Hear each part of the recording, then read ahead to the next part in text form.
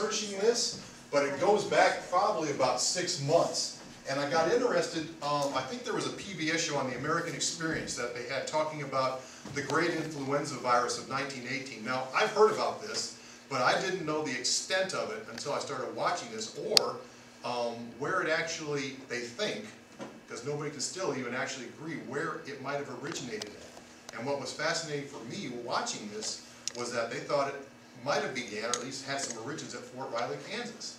That's where I was stationed at five years before I came here to Dahlonega teaching the ROTC program. So all these places they were talking about at Fort Riley, I, I, I know where those places are at. Wow, I didn't know this was going on out there. So I thought that was a very interesting aspect of this whole story. But before we start getting into that, what I wanted to start off with was, it's interesting because I got this off of uh, WDUN, and it was from April of this year. And I was talking about the flu season in 2018, and it said that one of the most severe flu seasons in recent years is finally coming to an end, but not after claiming many lives across Georgia. So even in 2018, with all our advanced technology and medicines, antibiotics and antibacterial hand lotion and things like that, we still had 145 people died in Georgia from the flu in this, just this past year. So it doesn't really matter how much um, technologically advanced we become, they still don't really have it pinned down what causes the flu and how this thing can mutate and so forth. So if we think of this in retrospect, 100 years ago, looking back on this, they didn't have any of this kind of you know medications that we have now. So a lot of this, you know, they were on their own, and you know they didn't have a CDC like we have now. So it was very interesting to read about what we would consider common sense procedures now to prevent people from catching the flu. And you know, a lot of these folks, they didn't really know. So let's go ahead and get started with this. Agnes, when you get done signing in, could you hit that light? Make it easier to see. Oh. Okay, there we go. It's like going to movies. This was a popular children's nursery rhyme which originated out of the 1918 influenza virus. Girls skipping rope. I had a little bird, its name was Enza. I opened the window and influenza.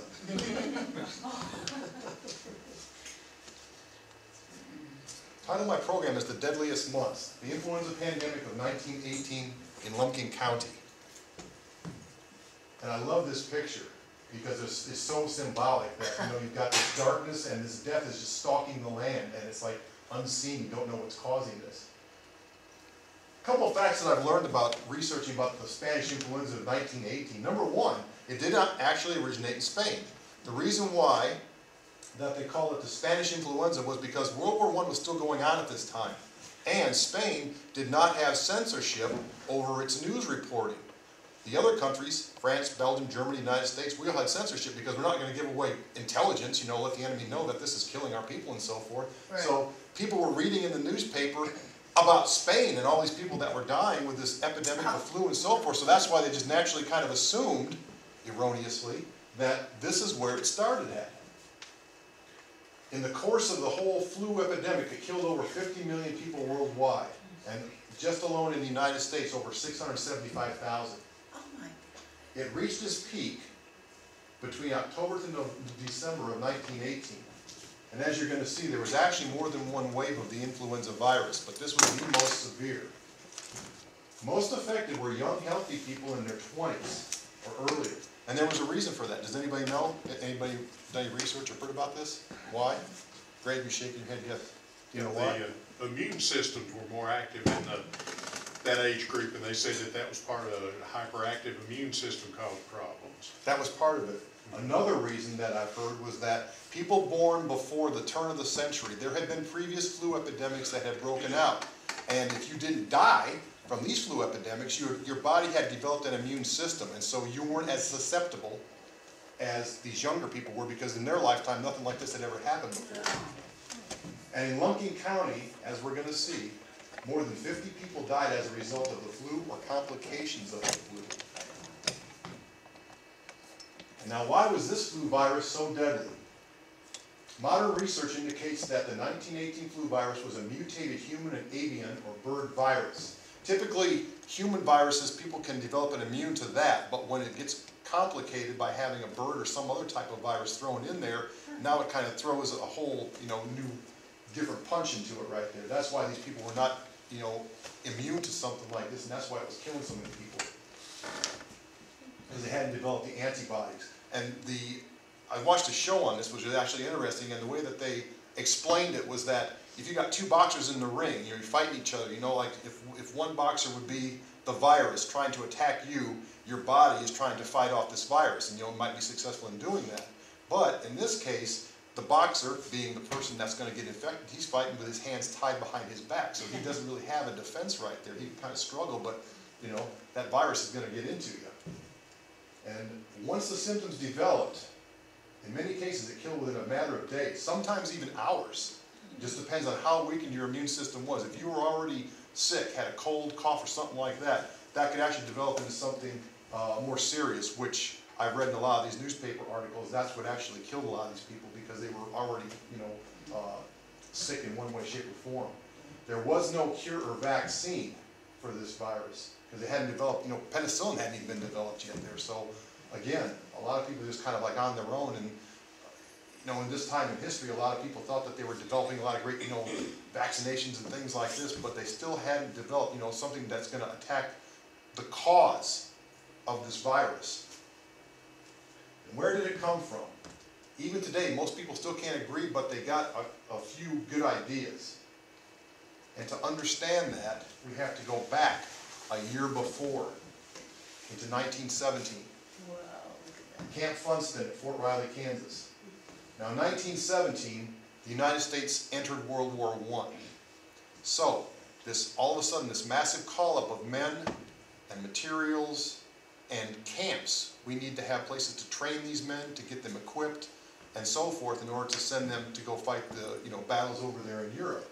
So, this was one of the camps that developed, Camp Funston. It was right along the Kansas River, not, it, it was on Fort Riley grounds, but about three miles from the actual base itself. It was outside of it right there. The problem that you had is that this is what it started off as, along with many other camps around the country. This was just one of many.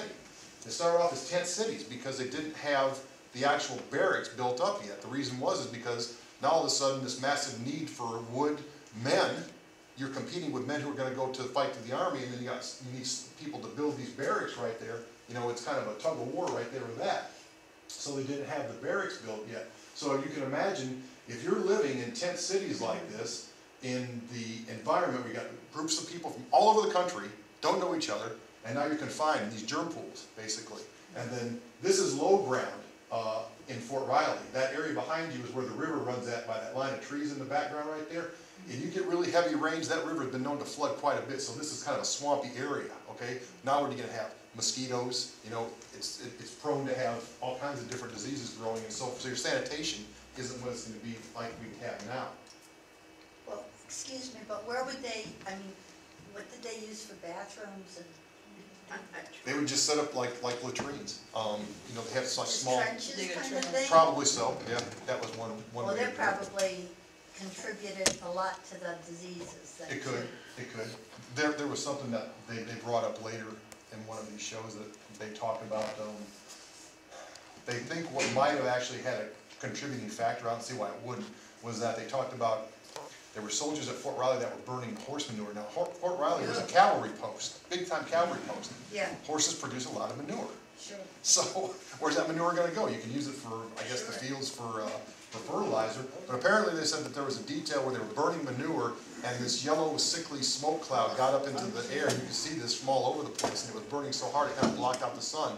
But imagine people that are standing downwind of this, if they're actually breathing, inhaling this kind of stuff there. No telling what's in it. If it had the bird virus in it right there, which is very possible, Sure. you know, it's, it's an airborne thing now, and now you're inhaling this. Sure. But the bottom line is that the first article that I read, if I can see this here, this was the first indication that something was wrong. It wasn't the Army that was admitting this. This was a civilian worker who was working at Fort Riley, who was from Abilene, which is twenty miles away from Fort Riley, just down the road right there. But it said, uh, November first of nineteen seventeen, the Abilene, Kansas newspaper says, uh, reports that men are dying at Funston untrue. An Abilene man who was working at Camp Funston said Sunday that men are dying at the camp every day. He said that he has seen the men being carried from the camp, the Junction City Union newspaper says. And so, this is what this guy was observing, and so they start checking it out. November seventh, six days later, the Topeka Journal says, in bold headlines, Topeka die, or Topekan dies in dread epidemic at Camp Funston. Hmm. Less than one week. So they already admitted in one week that there was this epidemic. So this was the first breakout from November 17 to March 1918. Now, we know with the flu that you got different seasons. A lot of that stuff brings it on, different cold, mm-hmm. temperature changes and things like that, right? But even though this was severe, this is what happened. A lot of these troops that might have been carriers, they probably were, and they just weren't infected right away, they went overseas. And they carried this stuff with them to the trenches over in Europe. That's why it kind of died off, because by, by the winter time, from uh, November, December, January, February, after that it kind of died off. It Starts picking up again in March, as we're gonna see, of nineteen eighteen. So this is contributing, not only that, but the, the conditions in the trenches are contributing to the influenza becoming a pandemic, meaning worldwide now. It's not just located or isolated in one country. So by autumn nineteen eighteen, this is what's going on in a lot of the camps. The second wave is starting. And this is what I'm reading in a lot of these newspapers. It's not in the civilian population as much yet, but you're reading about these different camps, not just Fort Riley, but New Mexico, Massachusetts, all these army camps, that you're finding people that are dying, or they're having an epidemic, they're sick. The Great Lakes Training Base uh, in Chicago, there are like 2,500 naval recruits that are reported sick with this flu epidemic. By September, this is what you're reading in the newspaper. And it's just crazy how it takes off, because August, yeah, you type in the word influenza, looking on some of these newspapers online, you'll find a couple hits, but by September, it's just boom, it explodes. And the main place that you see it is Boston. For some reason, Boston was like, seemed like an epicenter. Maybe it was because it was such a large city, ships are coming in there, Yeah. I don't know, but Boston keeps coming up in the newspaper repeatedly about the number of people that are dying every day there. But then you got the camp, influenza kills a hundred in Boston. The Red Cross needs uh, nurses today. Influenza spread down here in Alabama. Washington, the flu, the surgeon field, the Surgeon General at that time. So this is what's happening by September, so it's starting to pick up speed. And these were some of the government suggested ways that were coming out to prevent influenza or try to treat the virus. This picture down here with the children, they said this was a thing that if you gargle with, I don't know if they had Listerine or salt water, or whatever, gargling was supposed to help prevent that from getting in your throat. But the common thing, you know, this is what we talk about today, you know, it's kind of common sense, you know, if you're gonna sneeze, cover your mouth, you know, wash your hands and things like that. This was the stuff that they were actually telling the public or wearing masks because they knew it was airborne. You know, if you're breathing on someone, you know, if you're in a closed room, that's how it was being spread, contact with someone who was infected. Meanwhile, back in Dahlonega. Now, the impression that I got when I started reading this from the Nugget was that there was a lot of complacency going on, and I think it was not intentional. I think it was because when we go back and we see in newspapers that it's in Boston, it's in New York, it's in these army camps. That's well away from us. We're down here in Dahlonega, we're isolated up here in the mountains, you know. We don't have to worry about something like this being so bad. We're kind of safe where we're at down here, you know, it's not gonna come to us. And so, this is what they're reading in the newspapers. Estimated there are fifty thousand cases of influenza in just Massachusetts alone. This is October fourth. And because of the epidemic of Spanish flu, the effect has affected the call, the draft of 140,000 men. The war's not over yet. You know, they're still sending people to go to these camps there. Now, that would have a psychological effect on anybody who is being drafted or planning to go enlist to go to one of these camps, that, hey, if I'm reading all these camps got the flu, I might not want to go. I might just have to skip out. But what was in- interesting was that barely noticed was this article about Frank Duff, who's been sick with the fever for a few days. They mentioned it, but just kind of in passing, didn't really make a big deal about it. But Frank Duff became the first influenza citizen who died. He's buried at Mount Hope. Strangely enough, he is the only one who died from the influenza that's buried at Mount Hope from this time frame. There's one that comes later, but that was after the main uh, epidemic. It kind of passed by. But Frank was only 27 years old. Mm-hmm. Whoop. On his headstone, it says he's only 27 years old. Died on October 5th, 1918. Now, it's interesting because it doesn't, you know, I tried to look and see, okay, was there some kind of connection with, you know, was there somebody else that he might have been in contact with, associated with, whatever, that also got sick and died? I don't know. So, maybe it was just a fluke. I don't know what business he was in, but somehow he caught this from somewhere. And then the pale rider comes calling. What is the one thing that brought so much influenza to Lumpkin County, Delaware? Pestilence. The fair. The fair. Let's all go to the fair. They knew this was out there. They knew this was out there, and this was even in, you'll see in later articles, that they blamed the fair for this. A whole week, and this has been like a traditional, an annual event, people wanna go to the fair, you know? And I, I see this picture, right, whoops. I see this picture of all these people. If that was an accurate representation of the fair in Gainesville, it was a big thing, you know, it's like going to the county fair, you wanna take your produce, you wanna take your livestock, you know, get a great, good price, you know, it's fun. But nobody thought that the, the, the the flu was gonna be down here, because they kind of played it down. The week after, this is what was reported, there was a long article, I just cut, you know, the interesting part right there from the Nugget. Talked about Gainesville and the fair, so Townsend, the editor for the Nugget, was talking about all the great things about the fair and that he saw and so forth. But what was most interesting, it says, highlighted, passing many of Lumpkin County citizens with their wagons loaded with cotton and other products from the farm. Yeah. So all everybody's taking their wagons, you know, there's no radio at this time, there's no television, obviously, so they don't know what's going on outside of Dahlonega. And so I think also that was another reason that so many people unfortunately died in Lumpkin County was because at this time, if you didn't get the newspaper and you lived out in the county, where would you get your information from about what was going on? Maybe a local store, if they had, you know, local grocery stores or something like that out there. So news wouldn't have traveled very far out there in the county. But it's interesting that, that as we go on, we see that in, in, in Dahlonega itself, since that's kind of the epicenter of the county, with the town and so forth, less people actually died in town than out in the county, and I think there was a reason for that.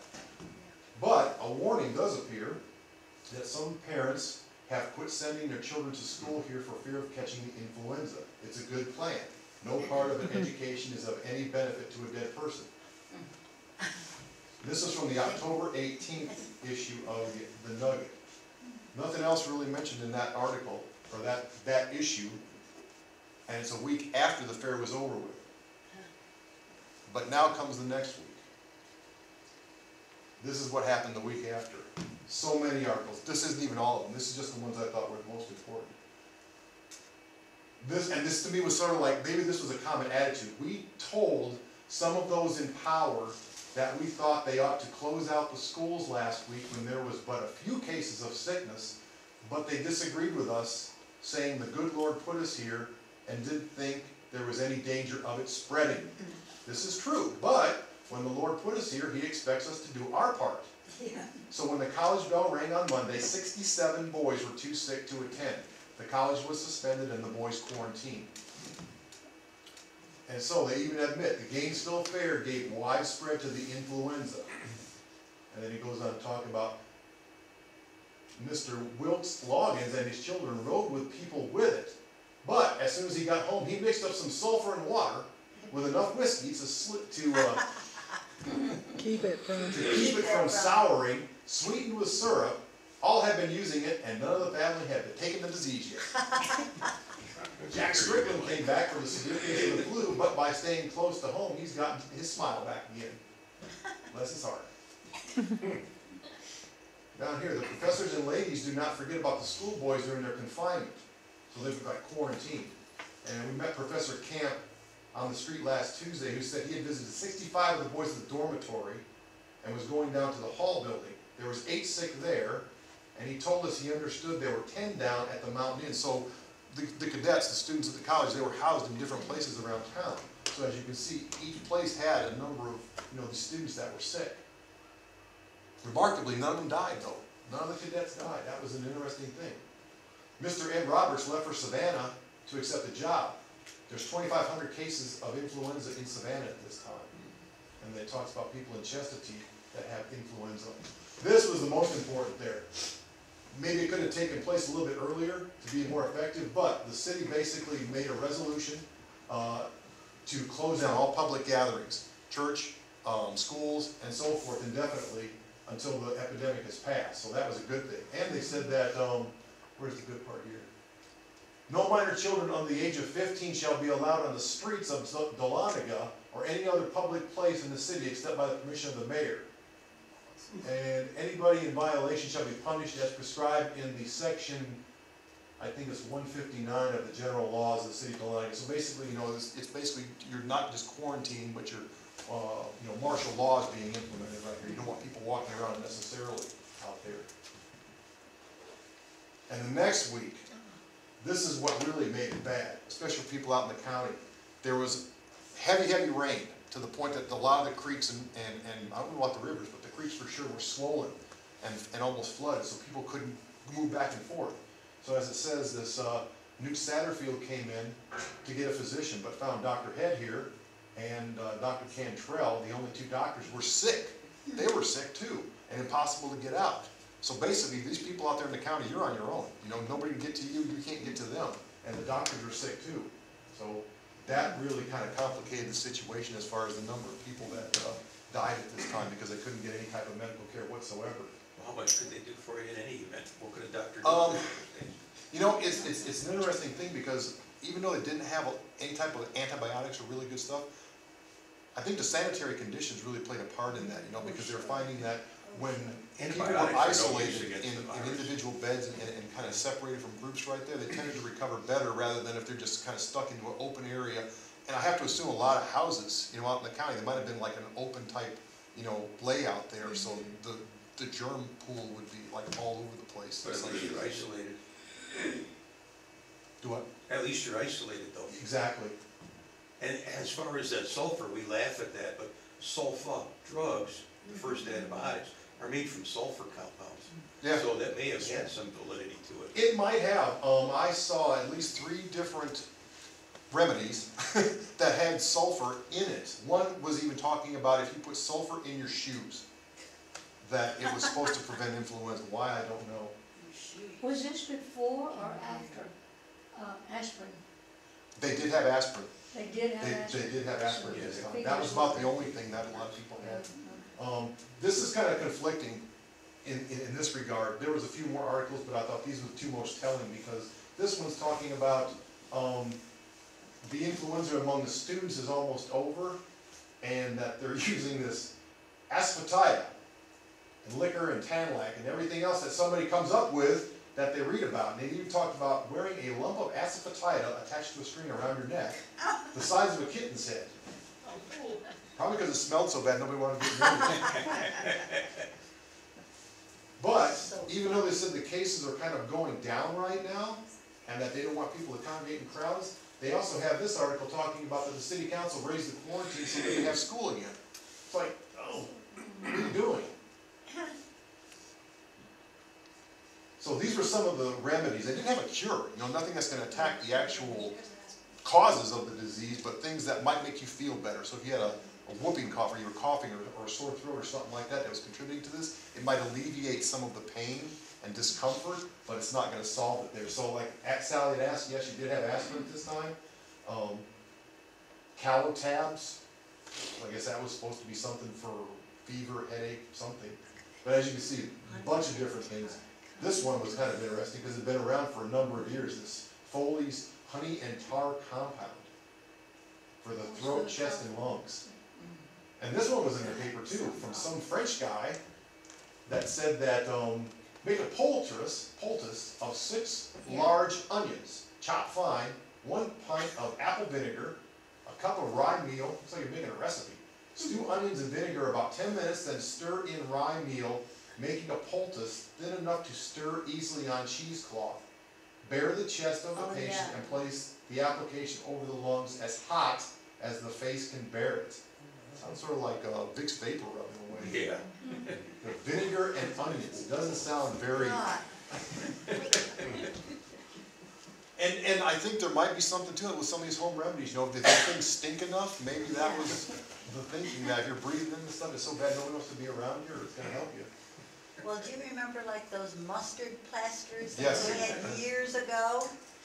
Uh, when I was back in, when I went back to France when I was seven, um, my grandmother would make up these things and she would put it between the cheesecloth, and then they'd put it on your chest or on your back, Yeah, but that was like nineteen fifty. I, I think it might be a way to alleviate your, your breathing discomfort, yeah. like the Vicks Vapor Rub, if you put that on your chest, you're breathing in that menthol type smell, so it's trying to, you know, make it easier for you to breathe and sleep.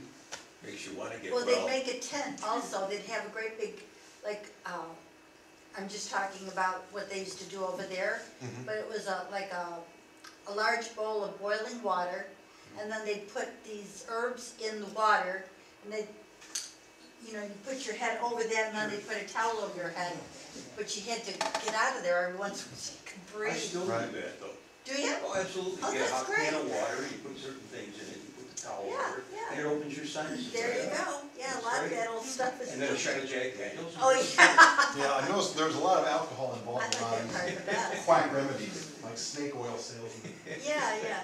sad, um, but we're noticing this also. Um, parties from the county went down to Gainesville and Dawsonville to get a coffin, but they couldn't find one. There were so many people that were dying, they could not get coffins. I've seen pictures of this in, in different places where coffins are just stacked up all over the place and they, they couldn't find them because it was so intense.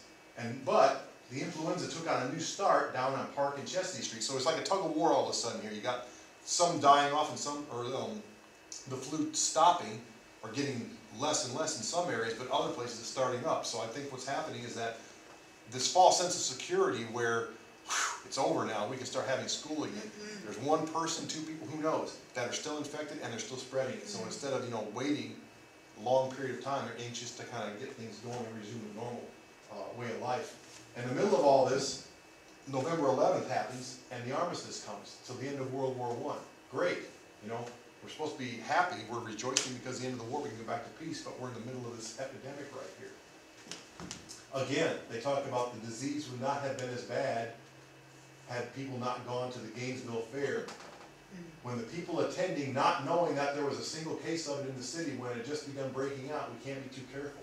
So I'm not, I'm not sure what that's supposed to imply. Did people at Gainesville know that there was flu and they should have postponed or stopped the fair or something? I don't know. But the college, the moving picture show at the college started up again last Saturday night, we regret to say. This means more flu, because there are still cases of it in town. So the college had a moving picture show, they had, they had their own like small little theater or something there on, on campus someplace, they show moving pictures, something for the public to enjoy. Not the right time. But, now we start seeing a decline from November sixteenth to the twenty-second. People who got the flu here getting better, uh, only one new case, and so on. And so by the end of November, there's no new cases of influenza that reported in town, in Dahlonega. But as late as March of nineteen nineteen, we still see reports and articles in the Nugget of people who are still getting sick and dying as a result of the flu or complications. You see pneumonia, whooping cough, other things there, but they're related to this influenza virus. And this is the list that I have come up with of the fifty-plus people who died as a result of the influenza virus. Now, some, I'm sure there's other people that are not on this list that I was able to find. Because the problem I had when researching this through the Nugget articles was that it might say that the small infant child of Mr. So-and-so died out in the western part of the county mm-hmm. last week. Don't have a name, don't have a specific date, don't have a cemetery where that person's buried at. And so I was not unable to find where some of these uh, residents were, were actually buried at, or if in fact they actually did die. Some didn't die here, but were buried here. But uh, it's interesting because I started going through it, and uh, you'll notice the age range. It, it's kind of, in some ways, it's all over the map. Obviously, you have a lot of small children, in- infants, which is really sad. Um, And then you've got other ones like this lady here, Mary Kendall, she was sixty-two when she died.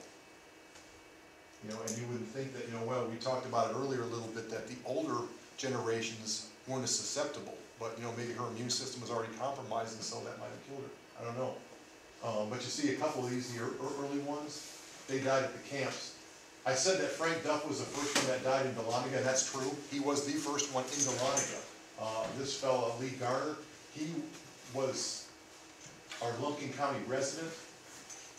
But he's buried at Yellow Creek Baptist, and he died in Murrayville, he didn't actually die in Lumpkin County, so that's why I didn't count him as being being hurt. But you notice, what's interesting with the dates, a few here and a few there, and the next thing you know, it just boom, it just really takes off right here. So this is as a result of the fair, you know, when these people that, that had something to do with the fair, or maybe came in oh, contact with somebody that had gone to the fair. This is the second part of the list. King Creek. Uh, sadly, you'll notice the last name of, uh, where is it? Who's on the previous one?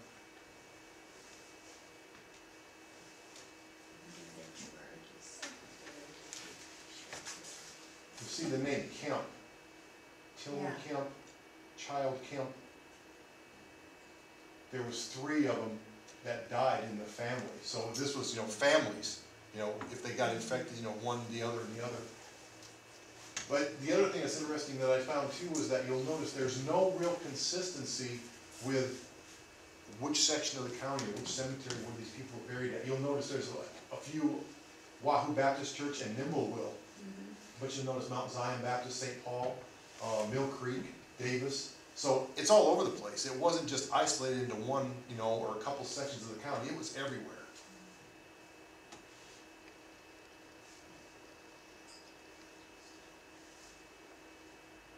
And as I said, you know, after November, it started to kind of decline, but yet for the whole month of December, whole month of January, February, you still had people that were dying from the virus right there, all the way up until March. These last four that I have uh, non-confirmed influenza deaths, this was from newspaper articles where it said that these individuals died, but it didn't say how. So I figured, well, it's in the right time range and they're of the right age for the most part, so it's fairly possible that that's probably what they died from, right, was the flu influenza.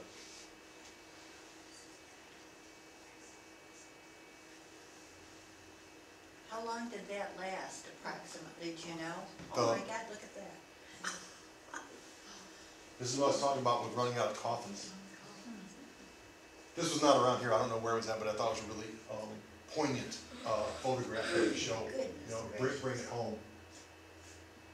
This is what people had, you know, probably in the big cities, Boston, New York, Washington, you know, whatever, it would land it there, that they would be stacked up like this. What was your question, Mary Uh, Approximately, how long did this last, is chronologically, what did they anticipate it to be? You know, That lasted for how long? It- It actually lasted until, um, you know, in the nineteen nineteen, a little bit in the nineteen twenty, but I don't think it was that strain of the virus, because as I said, uh, you know, the flu has different seasons right there. Right, And so by the spring, it tends to die off as you start getting into warmer weather, you know, Okay. April, May, and so that's why it went, ran up till March, uh, around here. But even looking further into nineteen twenty, you know, and so forth, you know, later news reports or articles from the Nugget to see if there's anything that they mentioned about this. They were very concerned about it, you know, in nineteen twenty, because it did run up into, you know, first part spring of nineteen nineteen. But even in the newspaper articles later, 1920, 1921, they were very, you know, hey, you need to make sure that you're doing these precautionary measures Yeah. to not get the flu, because, you know, this was still fresh in a lot of people's minds, you know, especially the ones that lost people. And sadly enough, we go back to, um, the second one, I said was buried in Lumpkin County, or in, uh, Mount Hope, is Homer Townsend, fifteen years old. This was the nephew of W. B. Townsend. Is talking about in the article on, uh, when he passed away, it said that, uh, he was actually working in the Nugget office, printing, and it said, you know, um, he had been there and he was doing his work, and he went home that night, and the next day he was dead. That was it, just that fast. So, sad. And the reason I have a question mark about Mount Hope Cemetery is that it has this long write-up about the young man and him passing away and so forth, but it didn't say where they buried him at. I just had to assume it's at Mount Hope because that's where the rest of the Townsend family is buried at, so. But that's my presentation. What questions? do you have?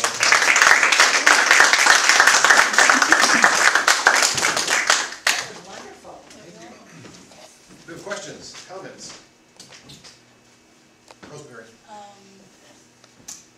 I think these people were very brave to try anything they could think of that might alleviate.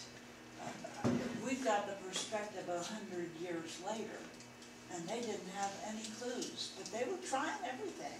That's true. And, and I think, um, that a few years from now, people in the medical field are going to figure out that chemo and radiation is not a good solution, and something else will come up that will save a lot of cancer uh, patients. And my husband currently has cancer, and he can't take chemo or radiation. It completely destroys him, as it does many people. I mean, it's putting poison in your body. So someday, someone is going to say, you know, why were these people putting poison in people's bodies? And yes, it helps a lot of people, but it also harms a lot of people. Makes you wonder with a lot of these, um, remedies that we saw, out there, a lot of people have been using folk remedies for years and years, and I'm sure that's, you know, it still might go on out in some of the parts of the county, you know, now, I've read about some of, some of the Foxfire books, but it makes you wonder if they got certain ingredients that have been tried and true, you know, in the past for certain things, that this is what, that was the extent of their knowledge, you know, worked in the past, we're gonna use this again, you know, or maybe we're gonna try to modify it somehow because it's gonna, um, you know, be more effective if we use some, some other ingredients right there. So it might sound kind of arcane, you know, the stuff that they were using by our standards today, but like you're saying, at that time, that's all they really had to go by. so. I've heard it used as an argument against destroying native forests, you know, in the Amazon and everything, because we don't know what the plants that are there might have in the way of cures for diseases, current diseases, you know. That, that hasn't been discovered yet. True. And when they keep destroying it, you know, maybe that's the answer, and, and it's greedy or, or taking them away.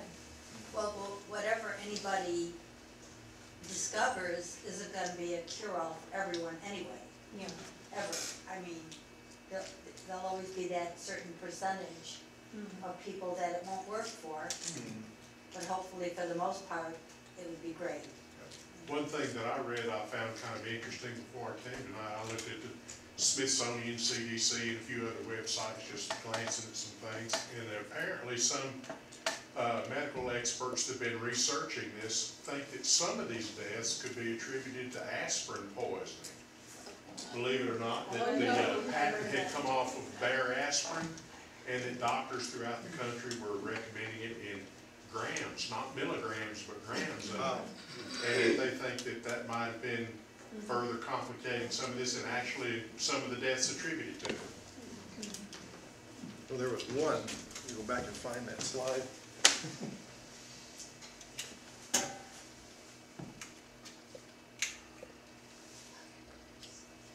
Well, there was one on one of the remedies up there that I found, it actually had quinine. Yeah.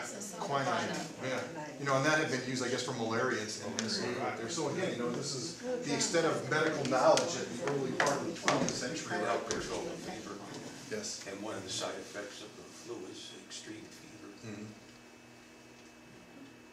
Pretty amazing. Any other questions, comments? Did anyone have any ancestors that were on the list there that are related to anyone that, that passed away from the influenza? In North Carolina, I'm from North Carolina originally. Dan? Some of my, some of, The several William of Da- my the Davis, family William Davis and some, died. and the Satterfield, I mean, that, that they're relatives. Are, are they- are they buried at the Davis, um, family cemetery out there? Um, William is, I don't know. And, uh, Seinfeld probably up there, uh, Oh, really? Bethlehem or Old Road. I saw the name Gerard on that. I Yes. wondered if any, you know, any uh, relatives of Sheriff Gerard. Because they- they've been here a long time, is that not right? Yeah. The diet people have become, uh, more interested in the uh, herbs and things for diets than, and along with your food, of course. And then, um, I guess, drugs like that you have today for that. I'm pretty sure, I read in the Foxfire series, there was a number of different folk remedies from people there. I know Amy Trammell's name was quoted in there quite a bit there, so I'd have to go back and look and see if Amy had a, a remedy for influenza or fever, so I'm sure there's something in there. Well, So I thank you for talked coming to- tonight. I talked to um, Ann to- today, and she said that Amos's grandfather's brother died of influenza. He was a sergeant in the army, and he died in Florida. Oh, wow. Didn't you mention also that Larry Scott? had Larry a Scott had a ancestor? relative who died. Is he doing all right, by the way? I called him last week. Larry, he was in the hospital. Robbie knows more. He had, he had broken his shoulder, he had fallen and broken his shoulder, and so right. he had to get that repaired, and now he's at Chelsea Park and will be there for some time doing therapy, so hoping, with any luck, maybe he'll be able to be here for the holiday party next month, but Yeah, Larry's our CEO, for those of you who don't know, for the board there, yeah, so. I believe I did email around how to get in touch with him. They're at Chelsea. You did, yeah. That, that was great, thank you. Yeah, and he, he said he's had a lot of, uh, a lot of company, you know, people coming by to see him, and he just really loves it. And he's in great spirits. I think Chelsea Park must be a wonderful It place. What, what room is he in again, do you know offhand? No, but it's in that email. Yeah.